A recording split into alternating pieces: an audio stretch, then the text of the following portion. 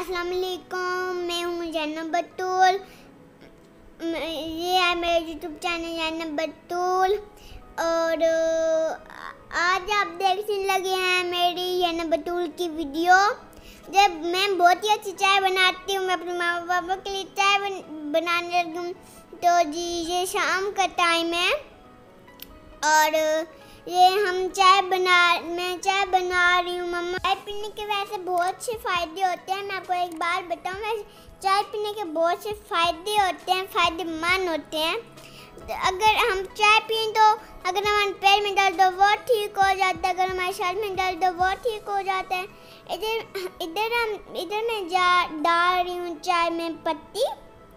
पत्ती डालने से पत, पत्ती हम एक चम्मच डालेंगे भर के। ये मैं डाल रही हूँ पत्ती चाय में।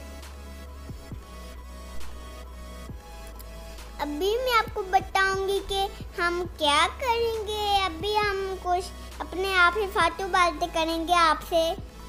और इधर जब बबल्स बनना शुरू हो जाएँगे ना चाय साइड पे तो इसे हला देना क्योंकि वो नीचे गिर सकती है चाय। और फिर आपको डांट भी पै सकती है अपने मम्मा पापा से बनाने देते चाय क्योंकि चाय गिर भी जाती है, छोटे बच्चों से तो मेरा हाथ जल जाता है।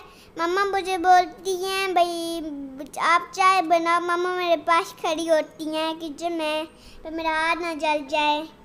अब मैं इसमें एक चम्मच शक्कर डाल, शक्कर डालने लगी हूँ। इसे बहुत मज़े की बनती है चाय और मीठी भी बनती है। आपके मामा बाबू को बहुत पसंद आएगी। बनाना नहीं आती ना वह मुझसे सीख ले, मेरे बाबू को भी नहीं आती। मैं जो मेरा गाँव नहीं है गाँव में मेरी नानो है खाला अम्मी पहले।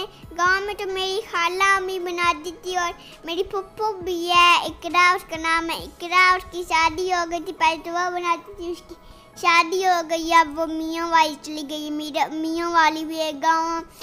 उन्होंने एक, वो एक नए घर में शिफ्ट हुई हैं। एक वो जो मेरी पुप्पू है ना इकरा वो एक नए घर में शिफ्ट हुई हैं। उनके बिल्कुल गेट के साथ ही जुड़ा हुआ पार्क है गेट के सामने उनका पार्क, गाड़ी पे भी नहीं जाना पड़ता। मैं तो इस दफ़ा पार्क भी नहीं गई कोरोना की वजह से, क्योंकि गंदा कोरोना पिंडे में हाथ लग गया है। पार्क बच्चों के अभी खुले भी नहीं हैं, बंद ही हैं। इसलिए बच्चों को भी मज़ा नहीं आता और बड़ों को भी मज़ा नहीं आता। अपने साथ साथ चाय को भी देखना, वरना आप चाय उबल जाएगी और आपके हाथ पे भी गिर जाएगी। इसलिए आपने भी आदमी रखना और चाय को भी साथ साथ देखना और बातें भी करनी है। मेरी चाय पक चुकी है, अब मैं बाबा बाबा मामा में तकसीम करूँगी। थोड़ी सी ज़्यादा डाल के देती हूँ मामा को थोड़ी सी कम। आपको चाय बनाना सिखा दी है। अब आप चाय बनाएँ और अगर आपको मेरी वीडियो अच्छी लगी तो प्लीज़ लाइक कीजिएगा शेयर कीजिएगा और सब्सक्राइब कीजिएगा। बनाने देती वीडियो, लेकिन कभी कभी मैं बना लेती हूँ।